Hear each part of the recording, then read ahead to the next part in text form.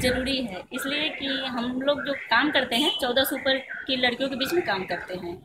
और जब उनको लाते हैं स्कूल में, क्योंकि हम लोग का स्कूल आवासीय विद्यालय रहता है तो उसमें लाते हैं तो उनकी कुछ एक्टिविटी जो होती है, वो देख के हम लोग को ऐसा लगता है। जैसे मेरे यहाँ एक लड़की आई थी तो अंदर, बाहर से तो बाथरूम, अंदर बाथरूम में जाती थी, बाहर से दरवाज़ा बंद कर देती थी। लेकिन फिर अंदर की जो खिड़की है, उसको खोल के वो नहाती थी।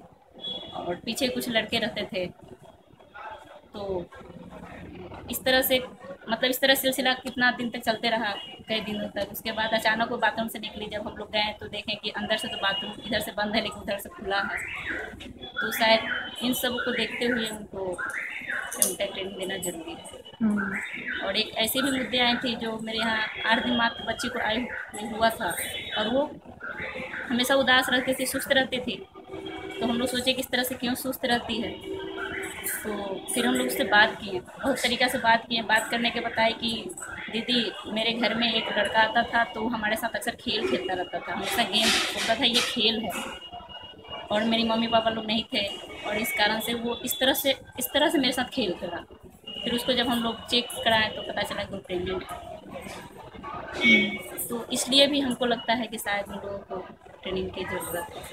क्योंकि जहाँ पे हम रहते हैं, हम लड़कियों के बीच में काम करते हैं तो पहले तो हम यौनिकता के बारे में जानते नहीं थे। जब से यौनिकता की ट्रेनिंग लिए हैं तो जान गए।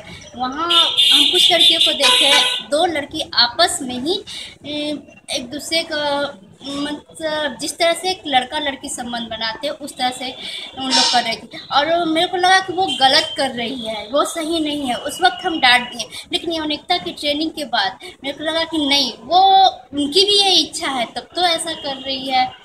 ये, इसलिए हम चाहते हैं कि यौनिकता का ट्रेनिंग होना ज़रूरी है, ताकि उनकी इच्छाएँ जो होती है, उनकी उनका जो मन होता है वो भी तो कहीं ना कहीं वो दबाती है। हम तो अपनी इच्छाएँ पूरी कर लेते हैं और वो अपनी इच्छाएँ पूरी नहीं कर पाती है।